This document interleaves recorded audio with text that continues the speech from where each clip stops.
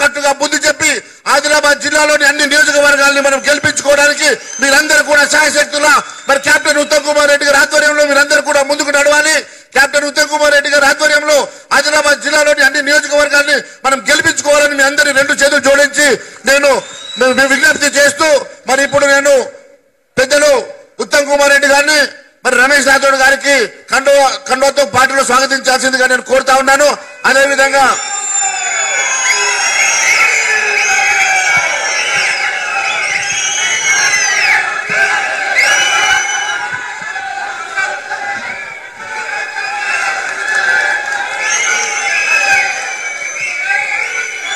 అదేవిధంగా సుమన్ రాథోడ్ గారు మాజీ ఎమ్మెల్యే గారు.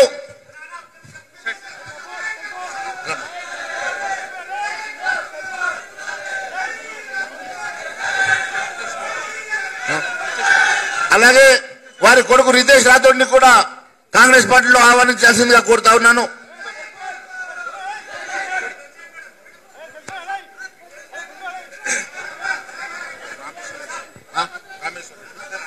రామేశ్వర. రామేశ్వర రెడ్డి గారు ఎంపీపీ ఇంద్రవెల్లి. సారీ మాజీ ఎంపీపీ ఖానాపూర్. మాజీ మండలాధ్యక్షులు ఖానాపూర్ రామేశ్వర రెడ్డి గారు. జాదవ్ మీరాబాయి ఇందరవెల్లి ఎంపీపీ గారు కూడా కాంగ్రెస్ పార్టీ చేరుతున్నారు. సింగిల్ విండో చైర్మన్ వెంకటగౌడ్ గారు కూడా కాంగ్రెస్ పార్టీ చేస్తున్నారు అనీస్ ఖాన్ వెంకగౌడ్ ఎంపీపీ ఖానాపూర్ ఆ, శ్రీనివాస్ నువ్వా? ఆకుల శ్రీనివాస్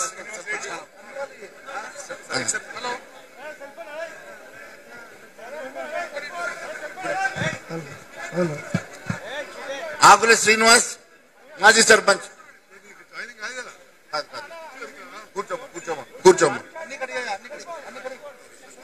కూర్చోమ్మా ఈ సరిపోతుంది సరిపోతుంది. సరిపోతుంది. మాజీ sarpanch Srinivas single window chairman single window chairman Srinivas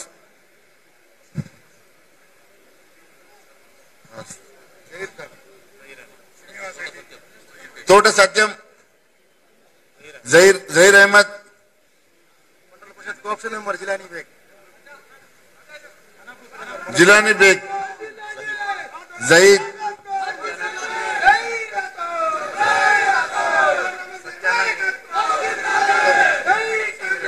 MPTC Satyanand Indravelli నేను మాజీ మాజీ మహిళా అధ్యక్షురాలు. అందరూ ఎంత పాతలే కదా. ముజాఫర్ మన- మరి పాతలు వేసుకుంటా పాతలు వేసుకుంటే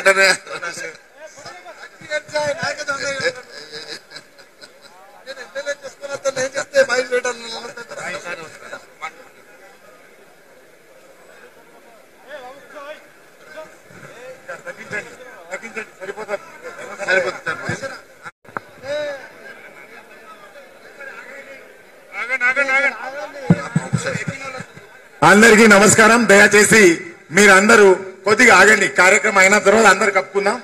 ఆగండి. వెనుక చైర్లో ఇక్కడ ఉన్నవారు వెళ్తారా లేదా? ఏంటే బాబు?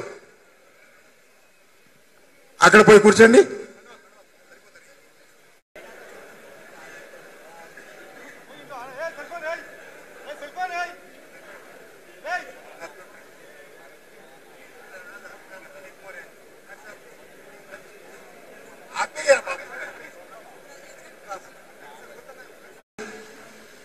శాసనసభ పక్షం నాయకులు జానారెడ్డి గారు ప్రియ మిత్రులు శాసనసభ్యులు ఏఐసిసి కార్యదర్శి సంపత్ గారు తెలంగాణ కాంగ్రెస్ పార్టీ కోశాధికారి ప్రియ మిత్రులు గుడు నారాయణ రెడ్డి గారు మరి వేదిక మీద ఉన్న పెద్దలందరికీ ఖానాపూర్ నుంచి సుదీర్ఘ ప్రయాణం చేసి ఇక్కడికి విచ్చేసిన సుదీర్ఘ ప్రయాణం చేసి వచ్చిన నా అన్నలు తమ్ముళ్ళు ప్రత్యేకంగా గిరిజన సోదరులు సోదరులు మీ అందరికీ నమస్కారం. ద్వార్బాయిసే రామ్ రామ్.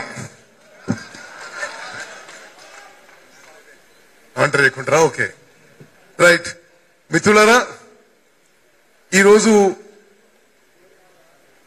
తెలంగాణ రాష్ట్రంలోనే గిరిజనుల ప్రజా జీవితంలో ఉన్న గిరిజనులు ఒక ప్రత్యేక స్థానం ఉన్న ఒక విశిష్ట స్థానం ఉన్న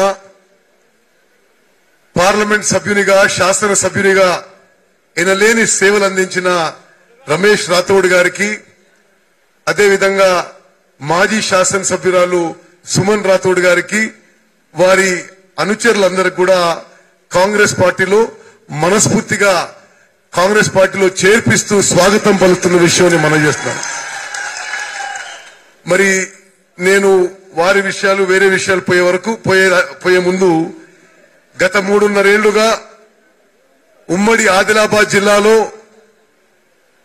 కాంగ్రెస్ పార్టీ అత్యంత కష్టకాలంలో కాంగ్రెస్ పార్టీని కాపాడి బలపరచడానికి విశేష కృషి చేసిన మహేష్ రెడ్డి గారికి కూడా నా మనస్ఫూర్తిగా నా అభినందన తెలియజేస్తున్నాను.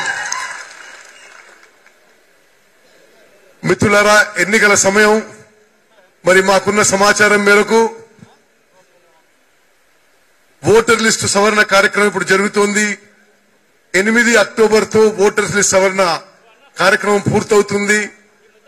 అక్టోబర్ మధ్యలో ఎన్నికల నోటిఫికేషన్ వచ్చి నవంబర్ చివరిలోనో డిసెంబర్ మొదటి వారంలోనో పోలింగ్ అయ్యే అవకాశం స్పష్టంగా అవపడుతుంది.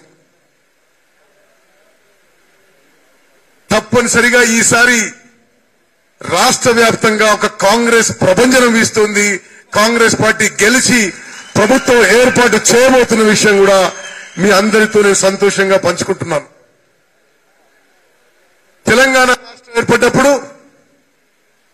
తెలంగాణ రాష్ట్రం ఏర్పాటుకి ప్రధాన కారణం కాంగ్రెస్ పార్టీ మన ప్రియతమ నాయకురాలు సోనియా గాంధీ గారు. ఎన్ని కష్టాలు వచ్చినా ఎన్ని నష్టాలైనా అన్ని కష్ట నష్టాలు ఓర్చుకొని ఎవరేమన్నా తెలంగాణ ప్రజల ఆరు దశాబ్దాల ఆకాంక్ష నెరవేరుస్తూ కాంగ్రెస్ పార్టీ సోనియా గాంధీ గారు తెలంగాణ ఇచ్చిన విషయం ప్రత్యేక రాష్ట్రం ఇచ్చిన విషయం ఒక్కసారి మనందరం కూడా మరోసారి ఈ సందర్భంగా తెలంగాణ ప్రజలకి ఇంటింటికి కూడా మన సందేశం తీసుకుపోవాలని చెప్పి మీకు మనం చేస్తున్నాను. మరోమైన ముఖ్యమైన విషయం మీడియా మిత్రులు కూడా అందరూ ఉన్నారు ఇక్కడ? మీ ప్రింట్ మీడియా ఉందా? హరి? అవపడతలేడు? అరే పిలువాయని ఇక్కడికి?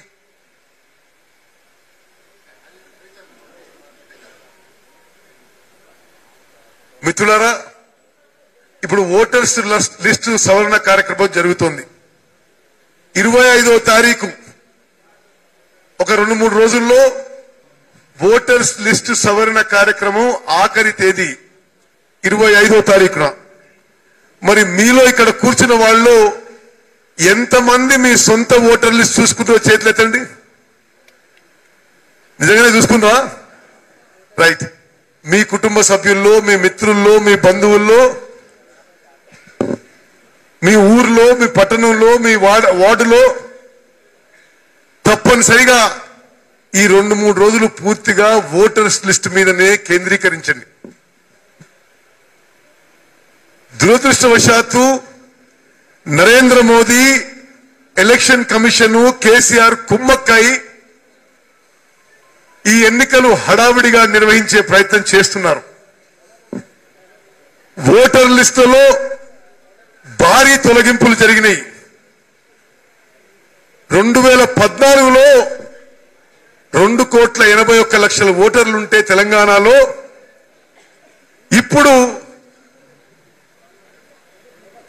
ఏఐసిసి కార్యదర్శి శ్రీనివాసన్ గారు సీనియర్ నాయకులు నారాయణరావు పటేల్ గారు సీనియర్ నాయకులు రామచంద్రారెడ్డి గారు ఆదిలాబాద్ పోటీ చేసిన మిత్రులు భార్గవ్ దేశపాండే గారు కూడా స్వాగతం పలుకుతున్నారు.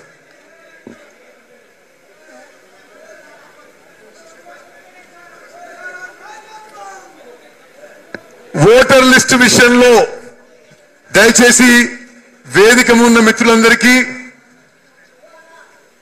ఈ సమావేశానికి వచ్చిన మిత్రులందరికీ మీడియా ద్వారా యావత్ తెలంగాణ సమాజానికి తెలియదలుచుకున్నాం రెండు వేల పద్నాలుగులో రెండు కోట్ల ఎనభై ఒక్క లక్ష ఓటర్ ఓటర్లు ఉంటే తెలంగాణలో. ఇది Narendra Modi KCR election commission కుమ్మక్కై మన ఓట్లు తొలగించి రెండు కోట్ల అరవై లక్షలు తగ్గింది. అంటే ప్రతి సంవత్సరం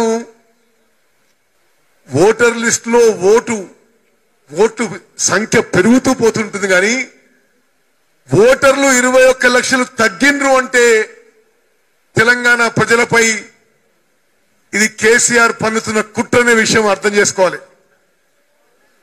అందుకోసమే నేను పదే పదే మనం చేస్తున్నాను. తెలంగాణ సమాజంలో పౌరులందరూ కూడా అందరూ కూడా ఈ రెండు రోజుల్లో మరే కార్యక్రమం పెట్టుకోకుండా మీ ఓటర్ లిస్టు సరిచూసుకోండి. మీ ఓటు మీ బంధువుల ఓటు మీ మిత్రుల ఓటు మీ బజార్లో మీ ఊర్లో ఉన్న ఓట్లన్నీ ఒక్కసారి చెక్ చేసుకోవాల్సిందిగా నేను రిక్వెస్ట్ చేస్తున్నాను. మిత్రులరా ఈరోజు రమేష్ రాథోడ్ గారు సుమన్ రాథోడ్ గారు కాంగ్రెస్ పార్టీలో చేరుతున్నారంటే చాలా సంతోషకరం. వారి చేరిక ద్వారా ఖానాపూర్ కాన్స్టిట్యున్సీలో ఉమ్మడి ఆదిలాబాద్ జిల్లాలో కాంగ్రెస్ పార్టీ బలోప బలపడుతుందని చెప్పి మా సంపూర్ణ విశ్వాసం. పోయినసారి ఆదిలాబాద్ జిల్లాలో పది నియోజకవర్గాల్లో ఒక్క నియోజకవర్గం కాంగ్రెస్ గెలిచింది. ఈసారి ప- ఆదిలాబాద్ జిల్లాలో పది నియోజకవర్గాల్లో మహేష్ రెడ్డి గారు రామచంద్రారెడ్డి గారు నారాయణరావు పటేల్ గారు రమేష్ రాథోడ్ గారు భార్గవ్ దేశపాండే గారు. మరి ఆదిలాబాద్ జిల్లా నాయకులందరూ కూడా సమిష్టి కృషితో ఆదిలాబాద్ జిల్లాలో పదికి పది గెలిచే విధంగా మనం కృషి చేయాలని పనిచేస్తున్నాను. ఆదిలాబాద్ జిల్లా పూర్తిగా కాంగ్రెస్ వేవ్ కాంగ్రెస్ స్వీప్ కావాలని చెప్పి మేము మీకు మనవి చేస్తున్నాం. నాలుగున్నరేళ్ళ పాటు తెలంగాణ ప్రజలని దోచుకొని కేసీఆర్ కుటుంబం ఒక విలాసవంతమైన జీవితం బ్రతుకుతూ తెలంగాణ ప్రజల కనీస హక్కులను కూడా మరి కాలరాస్తున్న కేసీఆర్ అయిన కుటుంబ సభ్యులని మనం తప్పనిసరిగా ఈ ఎన్నికల్లో తెలంగాణ నుంచి కేసీఆర్ కుటుంబాన్ని తరిమి కొట్టాలి అని చెప్పి మనం చేస్తున్నారు ఈ ఎన్నికలు టిఆర్ఎస్కి కాంగ్రెస్కి కాదు. ఈ ఎన్నికలు కేసీఆర్ కుటుంబానికి తెలంగాణ ప్రజల మధ్య చెప్పని మనం చేస్తున్నారు అహంకారంతో కళ్ళు నెత్తికెక్కిన వ్యవహారంతో ఒక నియంత్రిత ధోరణితో ఏ విధంగా కేసీఆర్ ఈ నాలుగున్నరేళ్ళు తెలంగాణ ప్రజల మీద ఒక పోలీస్ జులుం నడిపించాడు ఏ విధంగా అహంకార పూరితంగా అసలు ప్రజలను లెక్క చేయకుండా ముందుకు పోయాడు ఒక్కసారి ఆలోచన చేయండి. ప్రత్యేకంగా ప్రత్యేకంగా దళితులు గిరిజనుల విషయంలో కేసీఆర్ ఒక అణిచివేతే ప్రక్రియ చేపట్టాడు. దళితులు గిరిజనుల విషయం ఆలోచన చేస్తే మొదటి నుంచి మోసమే. దళిత ముఖ్యమంత్రి అని చెప్పి మోసం చేసిండు. దళితులకి గిరిజనులకి మూడు ఎకరాల వ్యవసాయ పొలం ఇస్తామని చెప్పి మోసం చేసిండు. గిరిజనులకి పన్నెండు పర్సెంట్ రిజర్వేషన్ నా మొదటి సంతకం ఉందని ఉంటుందని చెప్పి మోసం చేసింది. అందరికీ డబుల్ బెడ్రూమ్ ఇల్లు కట్టిస్తా అని మోసం చేసిండు. తాను మాత్రం ఒక ఐదు వందల కోట్లకి మన డబ్బులతో ఒక విలాసవంతమైన ఇల్లు కట్టుకుండు గాని తెలంగాణ రాష్ట్రంలో దళితులకి గిరిజనులకి డబుల్ బెడ్రూమ్ ఇల్లు కట్టడంలో పూర్తిగా ఒక నిర్లక్ష్య వైఖరి ప్రవర్తించిన కేసీఆర్కి బుద్ధి చెప్పాల్సిన సమయం ఆసన్నమైందని చెప్పి మనం చేస్తున్నాం. దళిత ముఖ్యమంత్రి చేయలేదు. మూడెకరాలు ఇవ్వలేదు. గిరిజనులకి పన్నెండు పర్సెంట్ రిజర్వేషన్ ఇవ్వలేదు. ఇంటికో ఉద్యోగం అన్నది ఇవ్వలేదు. ఇంటికో ఉద్యోగం ఇవ్వలేదు సరికదా? ఆయన ఇంట్లో ఐదు ఉద్యోగాలు తీసుకున్నాడు. మిత్రులారా యావత్ తెలంగాణ ప్రజల్ని వంచి మోసపూరితంగా పరిపాలించి మన అందరినీ అణిచివేసే ప్రయత్నం చేస్తున్న విషయం ఒకసారి గమనించారు చాలా చోట్ల నన్ను అడుగుతుంటారు కేసీఆర్ మోసం చేసిండు దగా చేసిండు విఫలమైండు. మీరొస్తే ఏం చేస్తారో చెప్పాలంటారు. అందుకోసం ఒక రెండు మూడు నిమిషాలు రాబోయే కాంగ్రెస్ ప్రభుత్వం ఏం చేయబోతుందని చెప్పి మనం చేస్తాను వచ్చే ఎన్నికల్లో కాంగ్రెస్ పార్టీ గెలవడం ఖాయం ప్రభుత్వం ఏర్పాటు చేయడం ఖాయం రాబోయే కాంగ్రెస్ ప్రభుత్వంలో రైతులకి ఏకకాలంలో రెండు లక్షల రూపాయలు రుణమాఫీ చేయబోతుందని చెప్పి మనం చేస్తాను తెలంగాణలో పండే పదిహేడు ముఖ్యమైన వ్యవసాయ పంటలకు మంచి ధర ఇస్తాం. ఐదు వేల కోట్ల రూపాయలతో మార్కెట్ ఇంటర్వెన్షన్ ఫండ్ శ్రీకరణ ఫండ్ ఏర్పాటు చేసి అన్ని పంటలని మంచి ధరతో కొనుగోలు చేయబోతున్నాం. వరికి మొక్కజొన్నకి రెండు వేల రూపాయలు తక్కువ కాకుండా వచ్చే కాంగ్రెస్ ప్రభుత్వం కొనుగోలు చేయబోతుంది. పత్తికి ఆరు వేల రూపాయలు తక్కువ కాకుండా కొనుగోలు చేయబోతున్నాం. మిర్చికి పదివేల రూపాయల కంటే తక్కువ కాకుండా కొనుగోలు చేయబోతున్నాం. మరి మీరు చెప్పాలి ఖానాపూర్ ప్రాంతంలో పసుపుకి పదివేల రూపాయల కంటే తక్కువ కాకుండా కొనుగోలు చేయబోతున్నాం. మరి నేను చెప్పనివి ఇంకేమైనా పంటలుంటే మీరు చెప్పండి. ఇవి కాకుండా మీ ప్రాంతంలో ఎక్కువ పండించే పంటలేవి. పత్తికి ఆరు వేల రూపాయలు తక్కువ కాకుండా మినిమం గ్యారంటీ ఫండ్లో కొనుగోలు చేయబోతున్నాం. సోయాను కూడా మంచి రేటుతో కొనుగోలు చేయబోతున్నాం. మిత్రులారా అదేవిధంగా వరికి రెండు వేల రూపాయల కంటే తక్కువ కాకుండా కొనుగోలు చేయబోతున్నాం. మిత్రులరా మనం ఈ నాలుగున్నరేళ్ళలో చూసాం అనేక ప్రకృతి వైపరీత్యాల్లో ఎక్కువ వర్షాలు పడ్డా తక్కువ వర్షాలు పడ్డా వడగండ్ల వాన వచ్చినా గాలి దుమారం వచ్చినా అనేక ప్రకృతి వైపరీత్యాల వల్ల రైతు పంట నష్టం జరిగినప్పుడు ఈ నాలుగున్నరేళ్ళ పాటు కేసీఆర్ పరిపాలనలో ఈ రాష్ట్రంలో ఎక్కడ కూడా ఎక్కడ కూడా రైతుకి ఒక్క రూపాయి రాలేదు మిత్రుడు. నీ పేరేం పేరు? నీ పేరేం పేరు? మంజు నాయక్ బిక్కు నాయక్ చెప్తున్నాడు ఈ రాష్ట్రంలో ఈ నాలుగున్నరేళ్ళ పాటు ఈ ముదునష్టపు ఈ కేసీఆర్ పరిపాలనలో రైతులు ప్రకృతి వైక వైపరీత్యాల్లో నష్టపోయినప్పుడు ఒక్క రూపాయి నష్టపరిహారం రాలే. వచ్చే కాంగ్రెస్ ప్రభుత్వంలో అద్భుతమైన పంట బీమా పథకం తీసుకొచ్చి ప్రతి ఎకరాకి పంట బీమా చేసి ఆ పంట బీమా మీద ప్రీమియం రాబోయే కాంగ్రెస్ ప్రభుత్వం రైతుల మీద భారం పడకుండా ప్రభుత్వమే ఆ ప్రీ ఆ పంట క్రాప్ ఇన్సూరెన్స్ ప్రీమియం కట్టబోతుంది చెప్పి పనిచేస్తాను మిత్రులారా రైతులే కాదు యావత్ తెలంగాణ తెల్లకాడున్న ప్రతి ఒక్క కుటుంబానికి రాబోయే కాంగ్రెస్ ప్రభుత్వం ఐదు లక్షల రూపాయలు ప్రమా ప్రమాద బీమా పథకం ప్రవేశించబోతున్నట్టు మనం మనం ఇది అంటున్నా కదా రైతుల విషయం.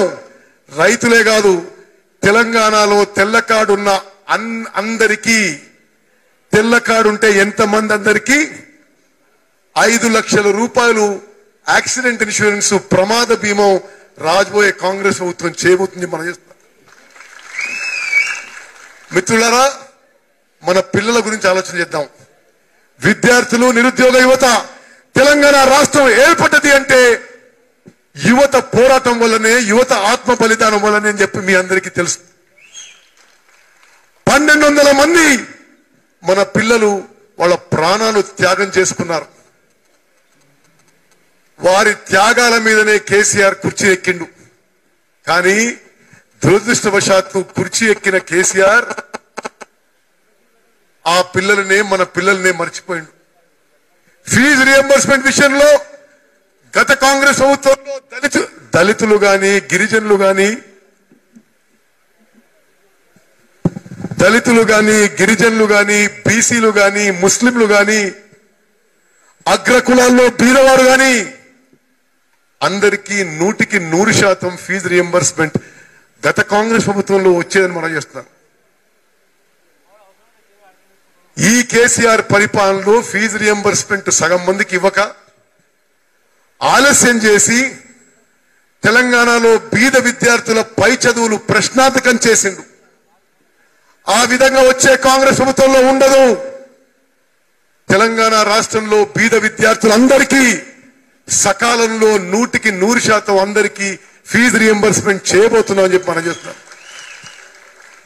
నిరుద్యోగ యువత మీకు ఒక విషయం చెప్తే చాలా బాధ కలుగుతుంది. నేను పోయినసారి ఎన్నికల్లో పోటీ చేసినప్పుడు నేను ఇప్పుడు నాలుగోసారి ఎమ్మెల్యే. నేను హుజూర్ నగర్ నుంచి పోటీ చేసిన.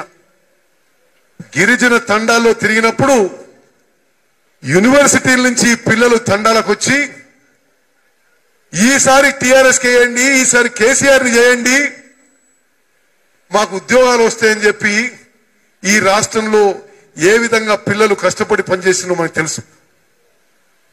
వారు తెలంగాణ రాష్ట్రం కోసం ప్రాణత్యాగం చేసిండ్రు తెలంగాణ రాష్ట్రం కోసం పోరాటం చేసిండ్రు. గద్దెనెక్కి వందల కోట్ల ఇండ్లలో నివసిస్తున్న కేసీఆర్ అత్యంత విలాసవంతమైన కార్లలో ప్లేన్లలో విమానాల్లో తిరుగుతున్న కేసీఆర్ అనే కుటుంబ సభ్యులు ఒక్కనాడైనా మన పిల్లల ఉద్యోగాల గురించి ఆలోచన చేసిండ్రా? నీకు ఒకటే అంక చెప్తా. జూన్ రెండు రెండు వేల పద్నాలుగున కేసీఆర్ ముఖ్యమంత్రి అయిన రోజున ప్రభుత్వంలో ఏ ఖాళీలు ఉండనో. ఈనాటికి భర్తీ కాలేదంటే ఎంత అసమర్థత ఎంత నిర్లక్ష్యం అని చెప్పి ఒక్కసారి ఆలోచించి. రాబోయే కాంగ్రెస్ ప్రభుత్వంలో పిల్లలకి ఉద్యోగాల అవకాశాలు కల్పించడం మా మొట్టమొదటి ప్రాధాన్యత. మొదటి సంవత్సరంలో రాబోయే కాంగ్రెస్ ప్రభుత్వంలో మొదటి సంవత్సరంలో ప్రభుత్వంలో ప్రభుత్వ రంగ సంస్థల్లో లక్ష ఉద్యోగాలు నింపబోతుందని చెప్పి మనం చేస్తున్నాను దాంట్లో భాగంగా ఇరవై వేల మంది ఒక మెగా డిఎస్సి నిర్వహించి కాంగ్రెస్ పార్టీ అధికారంలో వచ్చిన వంద రోజుల్లో ఈ లక్ష ఉద్యోగాలు భాగంగా ఇరవై వేల మంది గవర్నమెంట్ టీచర్స్ని మెగా డిఎస్సి నిర్వహించి రిక్రూట్ చేస్తామని చెప్పి మనం చేస్తాం ఇది ప్రభుత్వం ప్రభుత్వ రంగ సంస్థలైతే ప్రైవేట్ రంగ సంస్థల్లో అదేవిధంగా స్వయం ఉపాధి కల్పన. ఇప్పుడు ప్రస్తుతం ఉన్న లోన్ కమ్ సబ్సిడీ స్కీమ్ని మరింత బలపరిచి అమౌంట్ పెంచి ప్రైవేట్ రంగంలో అదేవిధంగా స్వయం ఉపాధి కల్పనలో మరో లక్ష మందికి ఉపాధి అవకాశాలు వచ్చే కాంగ్రెస్ ప్రభుత్వం కల్పించబోతుందో మనం చెప్తున్నాం ఎంత బాధాకరం అంటే కేసీఆర్ ముఖ్యమంత్రి అయిన తర్వాత తండ్రి కొడుకులు ఏదోదో పోజులు కొట్టుకుంటూ మీడియాలో ఏదేదో మాట్లాడుతుంటారు. కానీ వాస్తవంగా తెలంగాణలో నిరుద్యోగ సమస్య మరింత తీవ్రంగా అయింది. మేము తెలంగాణ పబ్లిక్ సర్వీస్ కమిషన్ అడిగితే ఈరోజు తెలంగాణలో పంతొమ్మిది లక్షల మంది నిరుద్యోగ యువత ఉన్న మాట వాళ్ళు ధృవీకరించారు. ఇది నాలుగున్నరేళ్ళ కేసీఆర్ పరిపాలన ఫలితం. కొన్ని లక్షల మంది ఉద్యోగాలు కల్పిస్తూ రాబోయే కాంగ్రెస్ ప్రభుత్వం తెలంగాణ రాష్ట్ర వ్యాప్తంగా పది లక్షల మంది నిరుద్యోగ యువతకి నెలకి మూడు వేల రూపాయలు నిరుద్యోగ భృతి పోతున్న విషయాన్ని మనం చేస్తాం. మేమిది ప్రకటిస్తే ఎట్లా చేస్తారు మీరు అని కేసీఆర్ అడుగుతాడు. అంటే వాళ్ళు చెయ్యరు. మేము చే- మేము చేస్తామంటే వాళ్ళకి మరి ఎందుకు ఆక్రోషం అర్థం కావడం లేదు. ఆ లెక్కలు కూడా చెప్పిన వారికి ఈసారి మరోసారి మీడియా ద్వారా యావత్ తెలంగాణ సమాజం తెలియజేస్తున్నాము నెలకి పది లక్షల మంది నిరుద్యోగ యువతకి మూడు వేల రూపాయలు నిరుద్యోగ భృతి ఉంటే అది మొత్తం అయ్యే ఖర్చు మూడు వందల కోట్లు. ఇప్పుడు తెలంగాణ రాష్ట్ర ఆదాయం నెలకి పదివేల ఐదు వందల కోట్లు. తప్పనిసరిగా అది ఇవ్వడం ఈజీగా సాధ్యమవుతుందని చెప్పి నేను మనం చేస్తున్నాను. అదేవిధంగా అదేవిధంగా మన ప్రాంతం నుంచి అనేక మంది గల్ఫ్కి పోతుంటారు. అవునా కదా? దుబాయ్కి అక్కడికి ఇక్కడికి. మన దగ్గర ఉద్యోగాలు దొరకక. ఈయనేమన్నాడు పెద్ద మనిషి? ఈయన అధికారంలో వచ్చిన తర్వాత ఇక గల్ఫ్ పోయే అవకాశం రాదు. ఇక్కడనే అద్భుతంగా చేస్తా. గల్ఫ్లో ఎవరికన్నా ఇబ్బంది జరిగితే అనారోగ్య కారణంగా నేను ఆదుకుంటా అన్నాడు. అనేక మంది వేలాది మంది గల్ఫ్లో మన యువకులు ఆదిలాబాద్ నుంచి నిజామాబాద్ జిల్లా నుంచి కరీంనగర్ జిల్లా నుంచి అక్కడ పోయి అమానవీయ పరిస్థితిలో పనిచేసి అనారోగ్యంతో చనిపోతే అడిగిన నాదుడు కూడా లేడు. ఈ రోజు మేము ప్రకటిస్తున్నాం మన పిల్లలు గల్ఫ్ పోయి అనారోగ్యంతో చనిపోయిన వారికి ఇక్కడ వచ్చిన తర్వాత కూడా అనారోగ్యంతో చనిపోయిన వారికి రాబోయే కాంగ్రెస్ ప్రభుత్వంలో ఐదు లక్షల రూపాయలు ఎక్స్గ్రేషియా ఇవ్వబోతున్నాం చెప్పి పనిచేస్తున్నారు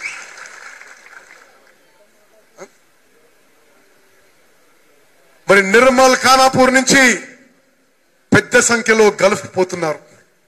వాళ్ళకి మంచి సౌకర్యాలు ఫెసిలిటీస్ కల్పించాలని ప్రతి ఏటా రాబోయే కాంగ్రెస్ ప్రభుత్వం ఐదు వందల కోట్ల రూపాయలు గల్ఫ్ గల్ఫ్లో ఉన్న మన యువకుల కోసమే ప్రత్యేక నిధి ఏర్పాటు చేస్తుంది చెప్పి నేను మనం చేస్తున్నాను. మిత్రులారా మనం పెన్షన్ల విషయం మాట్లాడదాం. తెలంగాణ రాష్ట్రం వచ్చినప్పుడు మన బడ్జెట్ లక్ష కోట్ల రూపాయలు. ఇప్పుడు ఎంత అవుతుందమ్మా? వచ్చే సంవత్సరం రెండు లక్షల కోట్లకి పెరిగిపోతుంది. కాంగ్రెస్ పార్టీగా కాంగ్రెస్ ప్రభుత్వంలో వెయ్యి రూపాయలు పెన్షన్ వచ్చే వృద్ధులు వితంతువులు ఒంటరి మహిళలు బీడీ కార్మికులు చేనేత కార్మికులు గీత కార్మికులకి వెయ్యి రూపాయల నుంచి రెండు వేల రూపాయలకి పెన్షన్ పెంచబోతున్నాం. ఇప్పుడు అరవై ఐదేళ్ళు దాటితేనే పెన్షను. మేమేమంటున్నాం అంటే రాబోయే కాంగ్రెస్ ప్రభుత్వంలో ప్రభుత్వ ఉద్యోగస్తులు రిటైర్ అయినప్పుడు యాభై ఎనిమిదేళ్ళకే పెన్షన్ వస్తుంది కాబట్టి వృత్తులకు కూడా యాభై ఎనిమిది ఏళ్ళు దాటితేనే పెన్షన్ ఏర్పాటు చేయబోతున్నాం. భార్యాభర్తలకి ఇప్పుడు ఒక్కరికే వస్తుంది. ప్రభుత్వ ఉద్యోగస్తుల తల్లిదండ్రులకు రాదు. రాబోయే కాంగ్రెస్ ప్రభుత్వంలో భార్యాభర్తల ఇద్దరికీ అర్హత ఉంటే పెన్షన్ ఇవ్వబోతున్నాం. ప్రభుత్వ ఉద్యోగస్తుల తల్లిదండ్రులకు కూడా పెన్షన్ ఇవ్వబోతున్నాం అని చెప్పి మనం చేస్తున్నాను మిత్రులారా వికలాంగులకి వికలాంగులకి ప్రస్తుతం ప్రస్తుతం ఉన్న పెన్షన్ పదిహేను వందల రూపాయలు అది చాలీ చాలని అమౌంట్ వాళ్ళకి మేము వికలాంగులకి పదిహేను వందల రూపాయల నుంచి పెన్షన్ మూడు వేల రూపాయలు పెంచబోతున్నాం చెప్పి మనం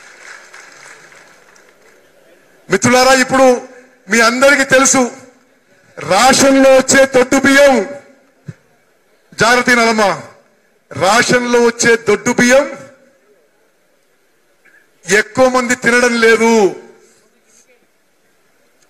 రాషన్లో వచ్చే దొడ్డు బియ్యం ఎక్కువ మంది తినడం లేదు. రేషన్ బియ్యం ఈ పద్ధతి మార్చి రాబోయే కాంగ్రెస్ ప్రభుత్వంలో రేషన్ కింద మనిషికి ఏడు లక్ష ఏడు కేజీల ఏడు కేజీల సన్నబియ్యం ఇవ్వబోతున్నా చెప్పి మనం చేస్తున్నాను అదే విధంగా గతంలో మీకు గుర్తుండాలి కాంగ్రెస్ ప్రభుత్వంలో అమ్మ హస్తం కింద బియ్యంతో సహా గోధుమ గోధుమ పిండి కారం కారం ఉప్పు పసుపు చక్కెర పామాయిల్ అన్ని ఇచ్చేవాళ్ళకి మీకు గుర్తుందా? గత కాంగ్రెస్ ప్రభుత్వంలో అదే పెన్షన్ విధానం అదే రాషన్ విధానం పునరుద్ధరించి రాబోయే కాంగ్రెస్ ప్రభుత్వంలో సన్న బియ్యంతో సహా ఒక సామాన్య కుటుంబానికి ఉపయోగపడే గత కాంగ్రెస్ ప్రభుత్వం ఇచ్చినట్టే తొమ్మిది రకాల వస్తువులు ఇవ్వబోతున్నాం అని చెప్పి నేను మనం చేస్తున్నాను. దళితులకి గిరిజనులకి దళితులకి గిరిజనులకి రాబోయే కాంగ్రెస్ ప్రభుత్వంలో మొత్తం రాషను బియ్యంతో సహా ఈ అన్ని రాషన్లో ఇచ్చే అంత సామాను కూడా వచ్చే కాంగ్రెస్ ప్రభుత్వంలో దళితులకి గిరిజనులకి రాషన్ ఉచితంగా ఇవ్వబోతున్నాం అని చెప్పి నేను మనం చేస్తాను. మిత్రులారా మహిళా సంఘాల గురించి రెండు నిమిషాలు మాట్లాడుకుందాం. మరి ఇక్కడ ఉన్న వాళ్ళల్లో తక్కువ మంది మహిళలు వచ్చిండ్రు మరి ఇక్కడ ఉన్న వాళ్ళల్లో మీ భార్యలు గాని తల్లులు గాని చెల్లెలు గాని మహిళా సంఘాల్లో సభ్యులు ఉన్న వాళ్ళు ఎంతమంది చేతులెత్తండి? అందరూ. మరి నేను చెప్పే విషయం మీ ఇంటికి తీసుకుపోయి మీ సతీమణికి మీ అమ్మకి మీ చెల్లెలు చెప్పాలి. మహిళా సంఘాలను ఏర్పాటు చేసింది కాంగ్రెస్ ప్రభుత్వం. కానీ కేసీఆర్ వచ్చిన తర్వాత మహిళా సంఘాలను నిర్లక్ష్యం చేస్తున్నాడు. వాళ్ళకి మీటింగులు లేవు వడ్డీ లేని రుణాలు లేవు సమావేశాలు లేవు కార్యక్రమాలు లేవు. రాబోయే కాంగ్రెస్ ప్రభుత్వంలో మహిళా సంఘాలకి ఆర్థికంగా బలపరచడానికి ఆర్థికంగా బలపరచడానికి పెద్ద ఎత్తున ప్రోత్సాహకాలు ఇవ్వబోతున్నాం. ఈ రాష్ట్రంలో ఖానాపూర్లో కానీ నిర్మల్లో కానీ ఆదిలాబాద్ జిల్లాలో కానీ అన్ని కలిపి రాష్ట్రంలో ఆరు లక్షల మహిళా సంఘాలు ఉన్నాయి. ఆరు లక్షల మహిళా సంఘాల్లో డెబ్బై లక్షల మంది మన అక్కలు చెల్లెళ్ళు మన అమ్మలు సభ్యులుగా ఉన్నారు. ప్రతి మహిళా సంఘానికి ప్రతి మహిళా సంఘానికి లక్ష రూపాయలు లక్ష రూపాయలు పూర్తిగా రాబోయే కాంగ్రెస్ ప్రభుత్వం గ్రాంట్గా ఇవ్వబోతుంది చెప్పి మనం చేస్తున్నాను. అదేవిధంగా అదేవిధంగా ప్రతి మహిళా సంఘానికి పది లక్షల రూపాయలు బ్యాంక్ నుంచి రుణం ఇప్పించి దాని మీద వడ్డీ రాబోయే కాంగ్రెస్ ప్రభుత్వం ప్రభుత్వమే పరిస్థితి మనం చేస్తున్నాను. ఈ మహిళా సంఘాల్లో పనిచేసే విఓఏలు కానీ ఆర్పీలు కానీ బీమా మిత్రులకు కానీ వాళ్ళకి ఇప్పుడు చాలీ చాలని వేతనాలు. వాళ్ళందరికీ విఓఏలకి బీమా మిత్రులకి ఆర్పీలకి నెలకి పదివేల రూపాయలు వచ్చే కాంగ్రెస్ ప్రభుత్వం ఏర్పాటు చేయబోతున్నాం. సరే ఇప్పుడు చాలా మంది ఇందిరమ్మ ఇళ్ళ గురించి మాట్లాడమంటున్నారు. మిత్రులారా ఇక్కడ కూర్చున్న వాళ్ళల్లో ఎంతమందికి డబుల్ బెడ్రూమ్ ఇల్లు వచ్చిందో ఎంతమందికి డబుల్ బెడ్రూమ్ ఇల్లు రాలేదో చేతులు ఎత్తండి. ఎవరు రాలేదా?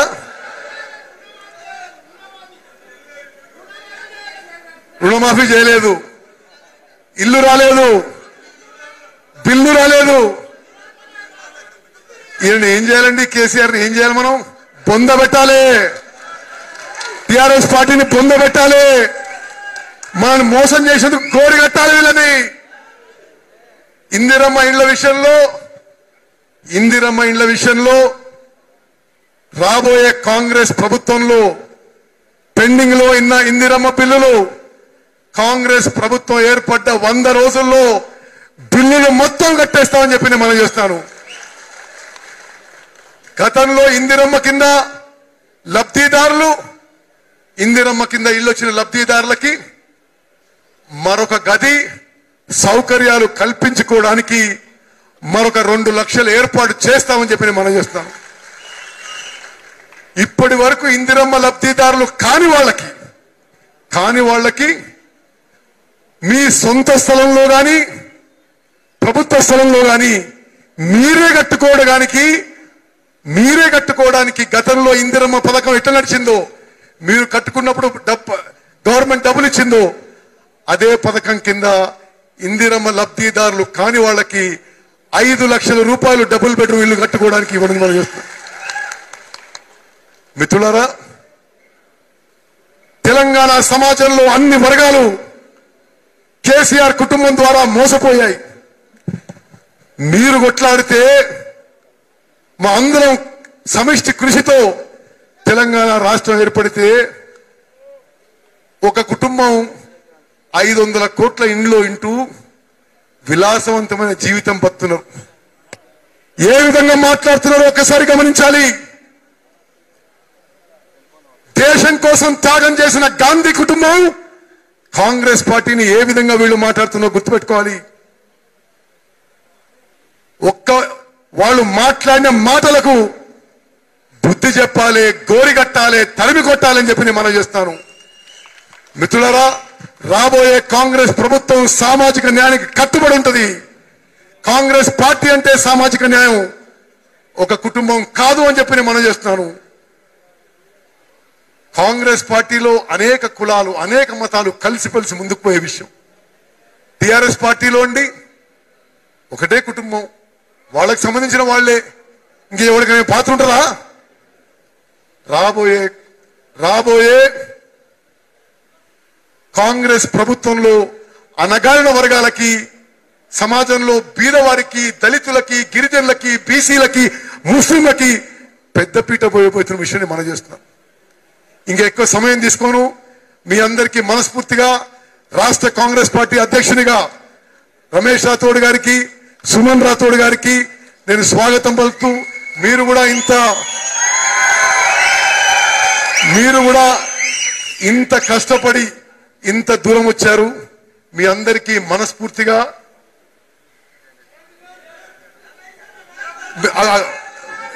మీ అందరికీ మనస్ఫూర్తిగా స్వాగతం పలుకుతూ ఒకటే విషయం మీడియా మిత్రులు ఉన్నారు చాలా మంది పెద్దలు కాంగ్రెస్ నాయకులు ఉన్నారు. ఇది ఎన్నికల సమయం ఎవరైనా సరే క్రమశిక్షణ దాటి మాట్లాడితే ఎవరైనా సరే ఈ మధ్యనే మన ప్రియతమ నాయకులు రాహుల్ గాంధీ గారు ఇచ్చిన ఆదేశాల మేరకు చర్యలు తప్పవు అని కూడా చెప్ప నేను ఈ రాష్ట్ర వ్యాప్తంగా కాంగ్రెస్ నాయకులకు మనవి చేస్తున్నాను. క్రమశిక్షణతో సమిష్టి కృషితో ముందుకు పోదాం. తప్పనిసరిగా కాంగ్రెస్ పార్టీ ప్రభుత్వం ఏర్పాటు అవుతుంది అందులో అందరికీ కష్టపడి పనిచేస్తున్న ప్రతి కార్యకర్తకి నాయకునికి సముచిత స్థానం న్యాయం గౌరవం మర్యాద ఉంటుందని కాంగ్రెస్ కార్యకర్తల రక్తం చెమట కృషి వలనే ఈ కాంగ్రెస్ పార్టీ నిలబడదని బలపడ్డదని కాంగ్రెస్ పార్టీ గెలవబోతుందని ప్రతి కాంగ్రెస్ కార్యకర్తకి రాబోయే కాంగ్రెస్ ప్రభుత్వంలో సముచిత స్థానం ఉంటుందని చెప్పి మనవి చేస్తూ ముగించుకుంటున్నాను. జై హింద్ జై కాంగ్రెస్. రాహుల్ గాంధీ గారి నాయకత్వం. అందరి చేతులెత్తాలి రాహుల్ గాంధీ గారి నాయకత్వం. Congress party. Congress party. ఇప్పుడు గౌరవనీయులు జానారెడ్డి గారు వారి అమూల్యమైన సందేశం ఇవ్వాల్సిన కోరుతున్నాను. కార్యక్రమానికి ముఖ్య అతిథిగా విచ్చేసిన రాష్ట్ర కాంగ్రెస్ పార్టీ అధ్యక్షులు పెద్దలు గౌరవనీయులు ఉత్తమ్ కుమార్ రెడ్డి గారు పెద్దలు మాజీ మంత్రివర్యులు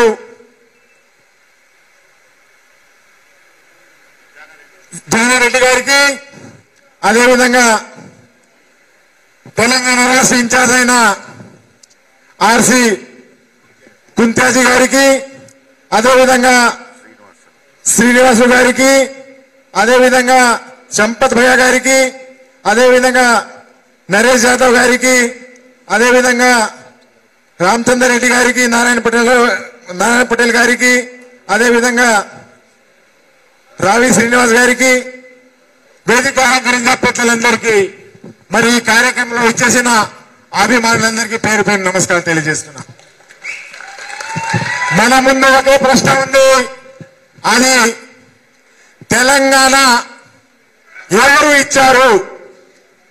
ఆ రోజు నేను పార్లమెంట్లో ఉంటి కాంగ్రెస్ పార్టీ తెలంగాణ నాయకుల సమ్మతో ఆ రోజు పార్లమెంట్లో ప్రభుత్వం అధికారంలో ఉన్న నిలదీసి తెలంగాణ సాధించారు ఆ రోజు. ఆ ఎంపీలు కాంగ్రెస్ పార్టీ ఎంపీలతో పాటు నేను కూడా ఉద్యమం చేశా. కానీ ఒక్క రోజు కేసీఆర్ రాలే. తెలంగాణ రాష్ట్రానికి ఇచ్చిన తర్వాత కేసీఆర్ మాయ మాటలు నమ్మేసి ఈ రోజు ఆయనకు అధికారంలో తీసుకువస్తే దాంట్లో మనం ముఖ్యంగా ఎన్నో ఆశలు పెట్టారు. పన్నెండు శాతం రిజర్వేషన్లు మైనార్టీలకు ఎస్టీలకు. ఎక్కడ వచ్చిందా? పన్నెండు కాదు. కాన్స్టిట్యూషన్ ప్రకారము బైఫర్గేషన్ యాక్ట్లో ఇచ్చిన ప్రకారం మాకు టెన్ పర్సెంట్ ఉంటే ఈ రోజు ఎంబీబీ సీట్లైనా ఇంజనీరింగ్ సీట్లైనా మరి ఉద్యోగాలైనా సింగర్ ఎంత నష్టం జరిగింది? ఒక్కసారి ఆత్మవిమర్శ చేసుకోవాల్సిన అవసరం ఉంది. మరి ఆ రోజుల్లో ఇదే కాంగ్రెస్ పార్టీ మన జాతికి న్యాయం చేసింది ఎస్టీలో కలిపిన విషయాన్ని కూడా మనం మర్చిపోకూడదు. నేను అడుగుతున్నా ఖానాపు ఒకటా ఒక నియోజకవర్గంలో పదమూడు వేల ఇండ్లు ఆ రోజు ఇందిరమ్మ ఇండ్లకు ఈ ప్రభుత్వం వచ్చిన తర్వాత పేమెంట్ ఇవ్వలేదు. ఇది వాస్తవమా కాదా? ఒకటే జిల్లారంలో ముప్పై మూడు మండలం ముప్పై మూడు వందల ఇండ్లు ఉంది. ఈ విధంగా ఆదిలాబాద్ జిల్లాలో తెలంగాణ రాష్ట్రం ఎన్ని ఉంది? డబుల్ బెడ్రూమ్ అయితే వదిలేయండి కానీ పాత కట్టిన కాంగ్రెస్ ఆయన కట్టిన ఇండ్లకే పేమెంట్ లేని పరిస్థితి. నేను ఈ సందర్భంగా మరి నాయకులు ఎక్కువ సమయం తీసుకోకుండా మనవి చేస్తున్నా. నేను ఒక సర్పంచ్గా ఎమ్మెల్యేగా జిల్లా పరిషత్ చైర్మన్గా మరి నా సత్యమైన సుమన్ రాజుగా రెండు సార్లు ఆ రోజు డెబ్బై లక్షల్లో గెలిచారు. మరి వైఎస్ఆర్ హయాంలో నేను యాభై రెండులో ముప్పై ఐదు జడ్పీటీసీ గెలిపించుకొని ఆదిలాబాద్ జిల్లాలో జిల్లా పరిషత్ చైర్మన్ అయ్యాను. పెద్దలకు మనవి చేసేది ఒకటే నాకు ఎంతో అంతో ప్రతి నియోజకవర్గంలో ప్రతి మండలంలో క్యాడర్ ఉంది. ఈ క్యాడర్ ద్వారా నా ఆత్మీయత మిత్రుల ద్వారా నాకు ఉన్న సంబంధాల ద్వారా ఆదిలాబాద్ జిల్లాలో పది నియోజకవర్గంలో పూర్తిగా కాంగ్రెస్ పార్టీకు లాభం జరుగుతుంది. నేను కూడా ఈరోజు ఎవరు సచ్చినా బతికినా పెళ్ళిళ్ళు ఉన్న బీద వాళ్ళకు అర్ధరాత్రి కష్ట సుఖాలు నిలబెడతా. మరి ఆ రోజులో నాన్ లోకల్ టికెట్ ఇచ్చారు ఓకే. కానీ ఇప్పుడు కూడా నాన్ లోకల్ ఎక్కడి నుంచో పట్టుకోవచ్చు టికెట్ ఇస్తే ఎవరు అబ్బ జాగిరి ఇది? ఖానాపూర్ ఓటు అనేది సీట్ ఇంకొనిదా? అది నిరూపించుకోవాల్సిన అవసరం ఉంది. నాయకులకు ఒకటే మనవి చేస్తున్నా. ఇక్కడ వచ్చిన వాళ్ళు సార్ ఓన్లీ క్యాడర్ ఉన్న వాళ్ళు ముఖ్య నాయకులే. మీరు నాకు సమయం ఇవ్వండి. ఆదిలాబాద్ జిల్లా ఖానాపూర్లో టైం ఇవ్వండి. ఒక్క లక్ష మందితోని మీటింగ్ పెడతారు. ఒక్క లక్ష మందితో మీటింగ్ పెట్టి ఆదిలాబాద్ జిల్లా మహేశ్వర్ రెడ్డి నాయకత్వంలో మా ఉన్న సీనియర్ నాయకత్వంలో తప్పకుండా పదికు పది గెలిసే వరకు కూడా టీం వర్క్ చేసుకొని ముందుకు పోతామని ఈ సందర్భంగా మీకు మనవి చేస్తున్నా. ఎందుకంటే ఇక్కడ ఉన్న ఆదిలాబాద్ జిల్లాలో దమ్ము ఉన్న నాయకులు ఉన్నారు. కానీ ఎప్పుడు ఆదిలాబాద్ జిల్లాలో ఉన్న దొంగ నాయకులు ఉన్నారు టీఆర్ఎస్లో. అంగన్వాడీల దగ్గర డబ్బులు తీసుకుంటారు ఒక విఆర్ఓ దగ్గర డబ్బులు తీసుకుంటారు ట్రాక్టర్లు ఇస్తే డబ్బులు తీసుకుంటారు. ఇది ఇద్దరి రెండు ట్రాక్టర్ ఎవరికి ఉందే వాళ్ళకే ఒక ట్రాక్టర్ ఇస్తున్నారు. ఎవరికైతే ధనికో వాళ్ళకే లోన్ ఇస్తున్నారు తప్ప ఏ ఒక్కరికి వదలలే వీళ్ళ జాతకం పట్టించడానికి మేము టీం వర్క్ చేసి మరి తప్పకుండా ఆదిలాబాద్లో మీ పేరును మీ ఆశయం నిలబెట్టుకొని తెలంగాణలో అగ్ర స్థాయిలో కాంగ్రెస్ పార్టీని ఉంచుతాము. రాజీవ్ గారి రాహుల్ గారి నాయకత్వానికి బలపరుస్తామని ఈ సందర్భంగా తెలియపరుస్తూ మరి చాలా విషయాలు ఉన్నప్పటికీ మీ సమయాన్ని చూస్తే మీరు ఈ రోజు మమ్మల్ని ఆహ్వానించి మా ప్రతిష్టని మా బలహీన బడుగు వర్గాలకు తప్పకుండా న్యాయం చేస్తానని కోరుకుంటూ